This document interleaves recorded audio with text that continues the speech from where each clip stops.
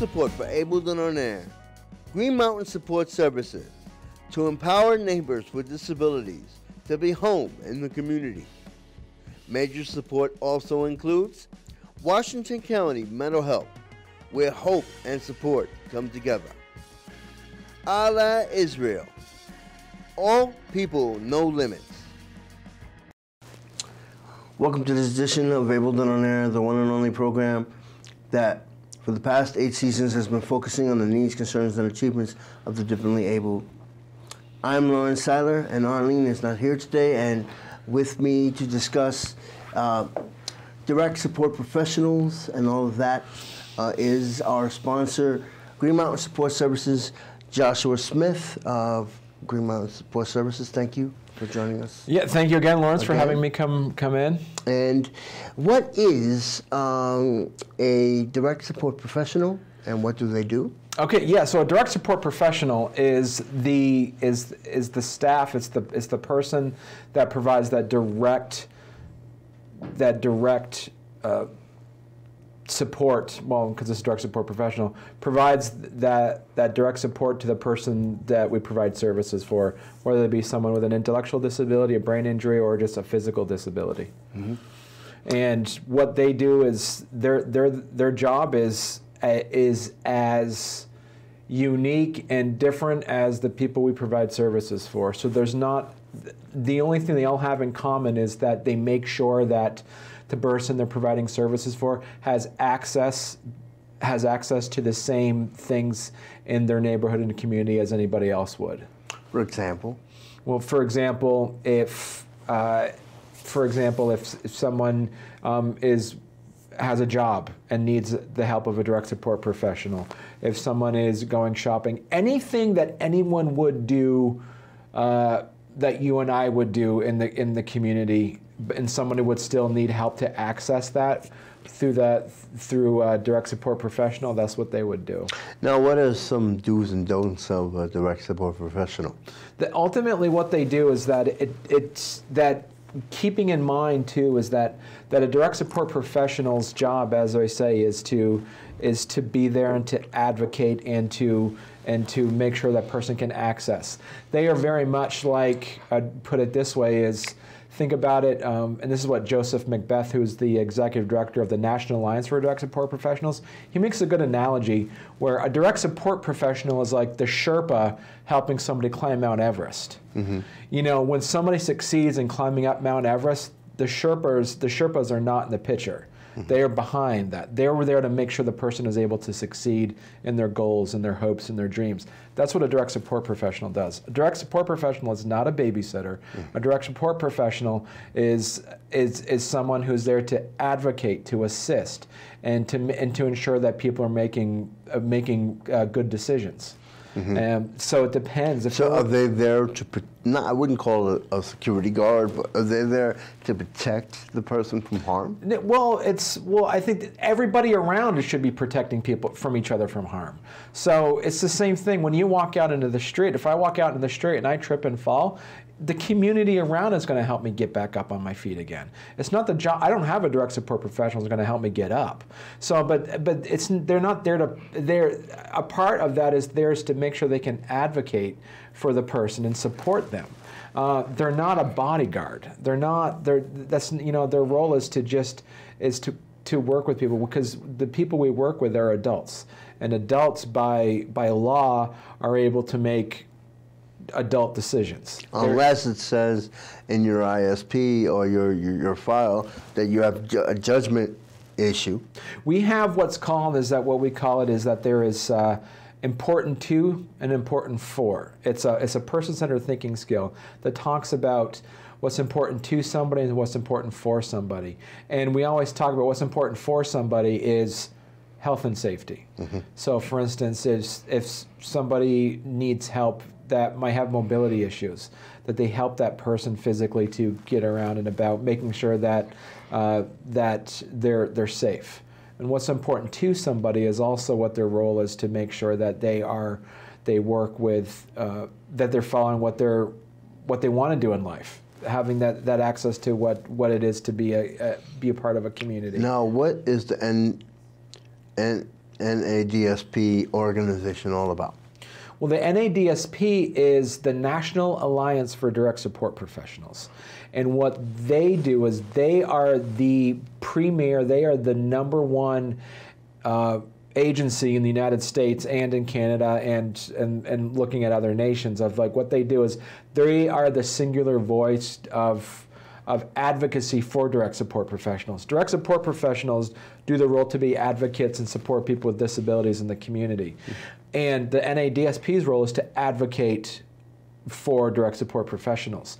Mm. So what they do is they really push, and one of the things they're really pushing right now is is is ensuring that direct support professionals have an occupational code, which means a Department of Labor recognized occupational code. Everybody, lawyers, doctors, nurses, uh, all kinds of positions, teachers, have an occupational code, a federal occupational code. Once you have that in place, that gives that gives people the, the power to to train and to and to, to, to give people that opportunity to say these are the skills you need to be a, a direct support professional what you need to be a nurse or need to be a doctor any of this that there's an established code of what this mm-hmm. job is as a DSP, the DSPs do not have an occupational code. And so what the NADSP is one of the things they're also promoting is is lending credence to the the professionalism of what a DSP is. And that's something that no other agencies are really working on nationally except the, the NADSP. And the one piece to it as well is that that they are able to that that there's so much power in a name there's so much power to words.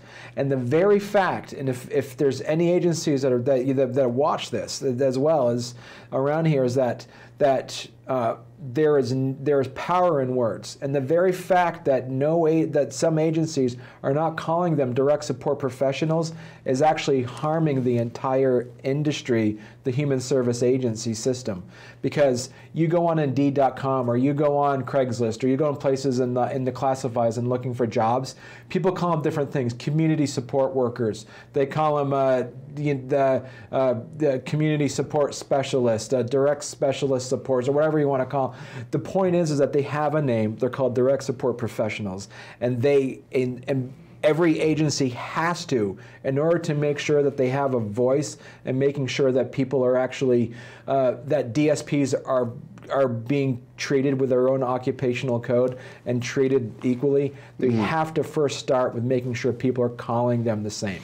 People don't call nurses different names. They're called nurses. They're called RNs. Well, there were LPNs. There's different types of nursing. But you call, but but the thing, but there's, but if you're a registered nurse, you're a registered nurse. Other hosp- hospitals don't call them something else. LPNs, they're called LPNs no matter where you go. The point is, is that direct support professionals, DSPs, need to be called DSPs in every single agency and every single place where there's a direct support professional working. That agencies should not and do not and should not be calling them something else because it hurts the entire system when we try to advocate for higher wages and for higher pay and for more training. It hurts the entire industry if, if other agencies are not calling them direct support professionals. Um, speaking about harming the industry, um, I understand that there's a movie, uh, a documentary that um, the University of uh, Minnesota, Minnesota, Minnesota yeah. did. Yeah. Um, it's called Invaluable. Let's take a look at the Invaluable trailer uh, presented by the University of Minnesota. Let's take a look at this.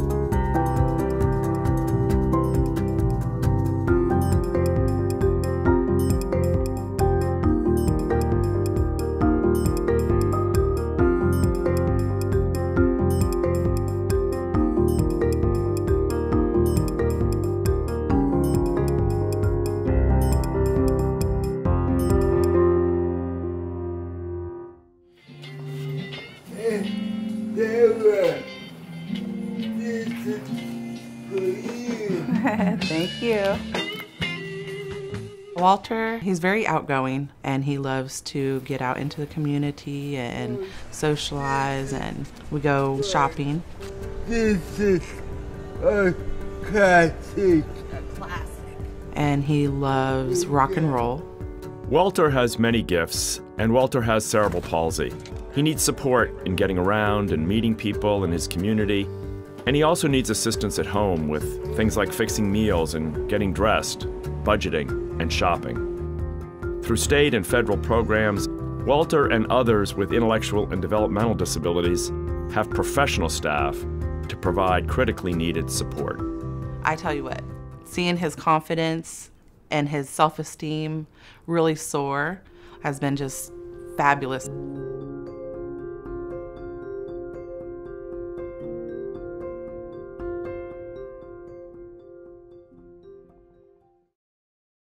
Can you explain a little bit about Invaluable? Yes, so I would be happy to say that that we we that Green Mountain Support Services in partnership with some of the other agencies within the state is having Jerry Smith, who's the director and producer of Invaluable. He's coming here to Vermont on November 20th, 21st, and 22nd, and he's doing a tour throughout Vermont to show this documentary. So it's and as I tell people, it's like this documentary is about DSPs. It's not for DSPs the documentary is for for self advocates, people who uh, for parents and guardians who it's for agency, human service agency staff. It's for legislators. It's for everybody who is directly affected by the DSP workforce crisis.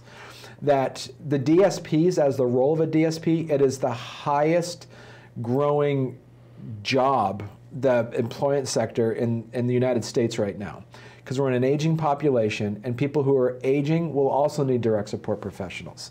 So it's not just with people with intellectual disabilities. It's for people with traumatic brain injuries. It's for people with it's for people who are who are who are growing older who needs who need physical assistance in accessing the community. And there is a crisis. We now have more job vacancies of direct support professionals than we do have do we have people who want to be direct support professionals? Question: yeah. The direct support professionals, there's there's training going on out there. Um, what are some do and don'ts, in your opinion, of what a direct support professional should do? Well, or shouldn't was, do. As I was saying earlier, our direct support professional's job is to is to is to assist the person to access their community. And I want to be clear too, is that we use the word community as as kind of a, as a catch-all for going out into the world or going out in the neighborhood. Community isn't a place. Community is a uh, is community isn't a physical location. Community is a group of people you connect to. For instance, people have a church community, people have a sports community, people have a library community. People have whatever their community is is based off of what their what their interests are and what they the people they want to connect with. So it's not so and we as individuals get to choose who our community is. You know, for instance, I have you know I have a community of, of people that you know work in the nonprofit sector. That's my that's a community. I also like to uh, I, I like to draw and, and I'm an, I, I do art projects on the side. So I have an art community. Those it's not a physical place I go to.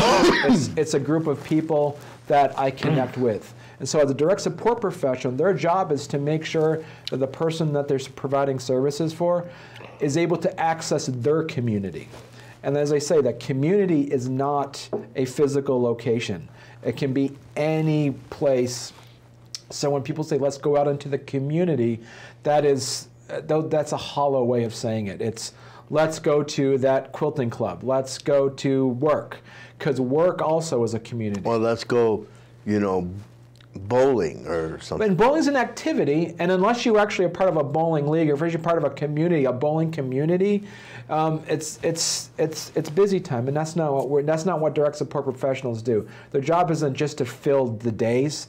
Their job is to make sure that the person they're providing services for um, is missed, making sure that they have natural and and sincere friendships. Oh, for example, um, direct if, if a a client that they're yeah. or a consumer, uh, an individual yeah. that I don't like that word client, but if an individual wants to gather with some friends but Yeah. still needs a direct support professional, um, today I want to go to the Chinese buffet. Yeah. Can the direct support professional take them or go with Yeah, them they, yeah. that? It's and as I say, it's the it's the, the person's in charge in that sense, and then and their job also as a direct support professional is to be there almost like um, that. Depending on, as I say, so individualized. Some people who might have a disability in their 20s might not have the, the, the social acumen to understand how to talk to people outside in, in the neighborhood, outside in the world. So they might be able to help them try to, you know, find connections and, and let them- maybe, maybe okay. If a person, for example, if we, if I, if my wife and I needed a direct support professional, and say, okay, we want to go on a trip yeah. With our family to Israel. Yeah. Can you help us? You don't necessarily have to go Yeah. on that trip with us if you needed to. Yeah. But can you help us book a, trip in a travel agency? And, and so, but it would depend on what, but then we know what the need. Not paying for it, but right. you know, No, it would depend on like for that example is that if that that that if that if you if you have the ability to to not how not know how to do that or how to that they would what would be and what a direct support professional would probably do is help you connect with um, uh, a travel agency to say sit down with you maybe going to the travel agency and saying hey you know i'm working with you know larry you know uh, lawrence and, and Ar- arlene trying to book a flight. And so they might be able to help you advocate for that they might help you um, put you in a thing their job isn't to do to live your life for you. Their job is to make sure that you can access the same things everybody else has an inalienable inalienable right to access. In terms of the movie Invaluable, let's Yeah. talk about that a little bit more. Um, um, the direct support professional uh, job um, hasn't been the easiest of jobs, um, you know, as far as pay, yeah as far as because people are trying to make this a full-time job situation. Why is the direct support professional looked down upon sometimes because of the job, um, the job entail what the job entails? a couple things If I'm saying that Right. I say a couple things. Is one, I think our culture doesn't recognize the importance of a direct support professional. So if you go to other other countries and their cultures, somebody who somebody who who works with someone, someone who does a direct support professional job in other cultures, is considered in high regard. Is like because Israel, for example. well, in any places, you know, and like I, I lived in Africa for close to 15 years. The work of supporting people is is considered very is, is considered a, a, a legitimate professional career, and so the the fact is like one, as I said, there's no federal occupational code for direct support professionals. Is one is is a big mark that's not good. The second thing is Is that all across the board, or yeah, yes, it's federally. Federally, they, there's nothing. The second thing is that there is that there is, and because once you have an occupational code, then you can have training curriculums put in by colleges and universities to say this is the, this is what you need to be a direct support professional, and then once that's in Well, place, New York recognizes it as an occupational code because there's example. I have a friend of mine who Yeah. teaches at Bronx Community College. yeah. Teaches people who have to become staff in group homes. Yeah. You, know, you, you have there's training involved to do the job, but there's not there's not a federal occupational code means that if I that if I go to CCV and take a class and something to be a DSP, that does not going to translate to going to Nebraska. They're not going to recognize that. So, but if you're a nurse, if, if it's a nurse gets trained in, in, in CCV and gets trained in a class, it'll be recognized wherever you go because it is a federally recognized job. So that's the piece.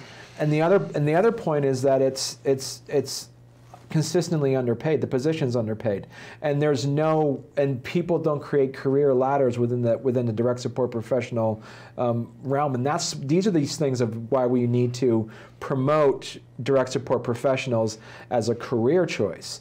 And because a lot of people say, hey, if I'm going to be a direct support professional, the next ladder up would be a case manager or something like that. But being a direct support professional and being a case manager, completely different jobs. They don't translate. You What- can't translate the work that you do as a direct support professional. Just because you're a good direct support professional does not mean you're going to be a good case manager. Two completely jobs. Two completely Mm-hmm. I mean, you different can move up in the agency. It's but you can be exact, but you move up in the agency, but that doesn't mean that you're. It's like going to a restaurant and saying, "Oh, you're a really good waiter. We're going to make you a cook now." It's two completely different things. It's the same restaurant, but it's two completely different jobs. True. To say that if you're a good DSP, you're going to be a good case manager is not the case. Um, to be, if you're saying you're a good case manager, doesn't necessarily mean you're going to be a good DSP. Two completely separate jobs. Now, before we take another break, Yeah. uh, why has DSP um, profession been very low paid? Because obviously, you, you, people don't become a millionaire from it. But Right. And it shouldn't be, because you look at that. So, for instance, LPNs we talked about earlier. You can go to school for an LPN. You can do this because they have they have a federal occupational code. They're recognized as a job. So if you do that, someone who who basically does an LPN's job basically is a DSP. Mm-hmm. To do that, to do that work, and then you get paid more for that. But why isn't the DSP's job? Is because you can get paid minimum wage for it because there's no there's no career ladder for it, and people think it's just a, it's just a- an entry level position. It's not.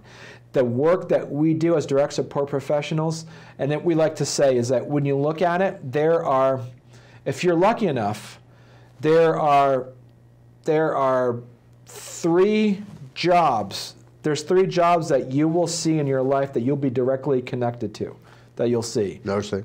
nursing, you know, doctors, teachers, Mm-hmm. Yeah. and direct support professionals. Direct support professionals should And have. chefs, you know. But you, you, you're not. But I'm talking because about when does, does DSP, everywhere can in a the world. DSP cook a meal for somebody? If everywhere in the world, everywhere in the world. I'm talking about from Uganda to Japan to to to Bulgaria to the United States. The three jobs that people always get that will that will al- they'll always see in their lives is going to be a teacher, a doctor, and a direct support professional. The very fact that direct support professionals are not treated the same level as anything else is is is insidious to have certain agencies, the United States. Uh, I'm not mentioning them, but certain agencies have in their, um, in their, uh, um, you know, job descriptions, yeah. Personal care attendants. So what is the difference between? And we have a couple of minutes left. Yeah. What is the, some? What is the difference between uh, uh, a personal care attendant and a DSP? Is there any correlation between? I'm just asking. Yeah. Any correlation between the Yeah, two? it's what I was saying earlier. People that other agencies cannot be calling them different things. They're direct support professionals. They're all direct support professionals. So when an agency calls them something else besides a direct support professional, it hurts the entire human service industry. They have to be calling them direct support professionals. Excuse me while we take another break. Green Mountain Support Services uh, did a public service announcement about their agency. Um, let's take a break and look at that public service announcement. Do you know an elderly person who doesn't need round the clock nursing care, but would benefit from companionship and assistance to get the most out of community, family, and friends? Green Mountain Support Services Adult Family Care Program is looking to serve elderly individuals who may need assistance, working with homeowners to become shared living providers. To find out if this is right for you, go to gmssi.org or call 802 888 7602. Welcome back. Um, And, and part of that direct support that, that so we were talking about and, and this is the other point too is that shared living providers in Vermont um, as you saw in that uh, in that public service announcement shared living providers are a type of DSP um, in any other state they would be considered residential staff residential DSPs but the work we do as sh- the shared living providers is is is completely different than the hourly wage you have direct, for direct support professionals which is what? What is the? a, a shared living rate? provider is someone who opens up their home for someone with a disability to live with them. And so They get a stipend for the agency they- from and- the agency. Yes, and so the the piece of that is that the work they do um, is is the work of a direct support professional, uh, and and that also is is consistently underfunded in those positions, and and that's something that we we have to. And Vermont's really good at it. I gotta I gotta give Vermont the credit it deserves. Vermont is really good at providing the the support that their direct support professionals need and their shared living providers need compared to other states. Mm-hmm. Um, but comparing it to other professions, it still it still lacks. But compared to other other states, um, they're pretty they're really well. But you know, getting back to what the the documentary is about, the documentary is really focusing nationally the workforce crisis we're having for direct support professionals, and that and that and it rings very true in Vermont, where in How Vermont, so? well, in Vermont we have we're there's not a lot of people who want to be shared living providers because they don't know about it. There's not a lot of people who know about direct support professionals. Why, why is it that, Sumi Fensor, why is it that sometimes people don't want to work directly with people with special needs? Is it because of the pay or is it no, I don't. It's eh, it's not. Or the it's, the amount of work people it's, have. It's not the pay so much as that people don't know the position exists, because as I say, other agencies do not call them direct support professionals. So it's so hard for people to say, oh, that's the same job here at Washington County Mental Health as it is at Howard Center, as it is in, in uh, United Counseling Service, as it is in Upper, uh, you know, in Upper Valley Services. The agency, so many agencies that are not calling them direct support professionals, it's hard for people to to recognize that job as as a, as a. If you look at something that says teacher, everyone knows what a teacher is. Bus driver, I know exactly what a bus driver is. I look at something that says community support specialist. Wait, how is that different than a direct support professional? Or how is that different than a personal care attendant? When agencies call them different things, it confuses the general public, and it's so hard for people to kind of grasp that. Um, what are some of the future goals of uh, coming in the coming year? Uh, what are some of the future goals of Green Mountain Support Services? Well, so you know, one of them is just really, you know, for in 2020, it's just really making sure that we really work with other agencies to make sure that they're calling them direct support professionals. It gives us that singular voice of advocacy and and, and support to make sure that happens. As far as um, your opinion, what what are some of the misconceptions? I mean, because some people don't want to work in the field of special needs, for various reasons. Yeah. Um, what are some of the misconceptions around DSPs and then misconceptions around working with people with special needs? Well, I think well, the, I think the misconceptions is is that a lot of people think we work with patients. We don't work with patients. We work with people because patients inf infer that somebody's sick. Mm -hmm. People that people with the disabilities are not sick. Mm -hmm. They're just wanting to access the same things everybody else gets to access. Mm -hmm. So the work we do, as I say, is community. It's it's it's it's based out in the it's based in out in, in excuse me, out in the neighborhoods, and it's also based on um, making sure people can access and be and, and advocate for the things that we as general public just naturally uh, it's easy for us to access. Mm -hmm. So that's a major point of what direct support professionals and shared living providers do. Um, can you give them the address or website of NADSP and then yes, so, Support Services? Yes, yeah, so nadsp.org. You find all that stuff. And nadsp.org is also promoting what's called an e-badge academy, which is what we talked about earlier, which is a is a credentialing process that can be recognized nationally for people. So what they're doing is NADSP is is is helping to do the work that other local schools aren't doing is, is creating a credentialing program for people that people want to be direct support professionals and creating a tiered system. and your um, your your phone number for Green Mountain Support Services? It's 802-888-7602, uh, and you can find us at gmssi.org. Okay. And if it's okay, Lawrence, I'd like to plug where our invaluable where, and we can probably put it up on the screen as well um, show you where the list of where Invaluable is going to be playing here in Vermont. Yeah. And on November 20th, it's going to be playing at Main Street Landing, the Film House in Burlington. Yes. At 6 p.m. on November 20th. November 21st, it's going to be at the Savoy Theater, just right down the street, uh, 20, uh, on on Main Street at, at Mont, in here in Montpelier at 1 p.m. That night, it's going to be so November 21st in the evening. It's going to be at the Tuttle Hall Theater in Rutland at 6 p.m and and November 22nd is So the the 21st, the director will be there. Yep, he'll be there at 1 p.m. at the Savoy Theater, and on November 22nd, uh, he, it'll be at, playing at uh, um, at the CCV campus in Bennington at 3 p.m.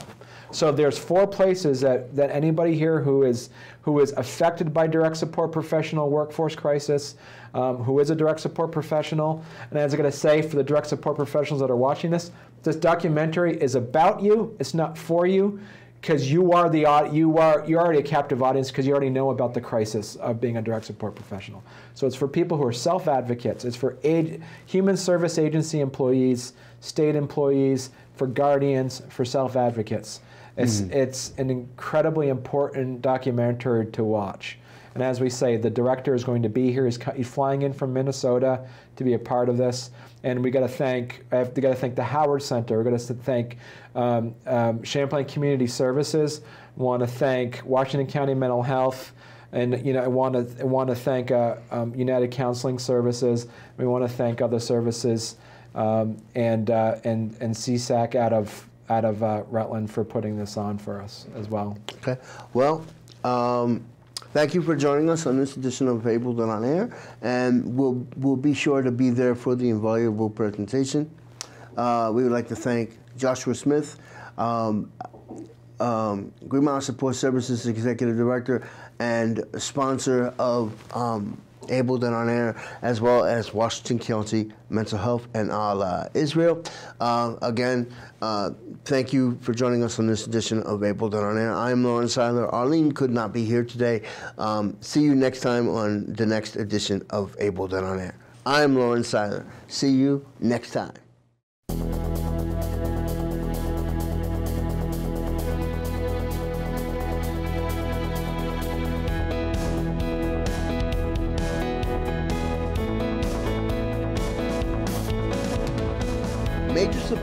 For on Air. Green Mountain Support Services to empower neighbors with disabilities to be home in the community. Major support also includes Washington County Mental Health, where hope and support come together. Allah Israel. All people, no limits.